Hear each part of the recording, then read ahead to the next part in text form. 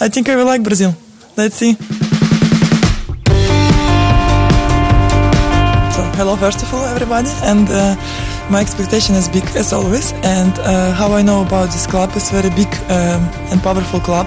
It's like a huge family. So uh, every year more improving team, and I hope I can help team to improve more and to take more highest place than it was last year.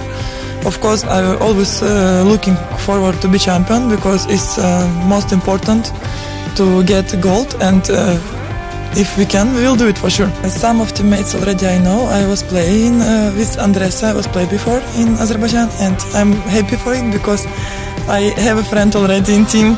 So uh, also Tiffany texted me, so we chat a little bit, and also I found her a very cool person. I like it so much.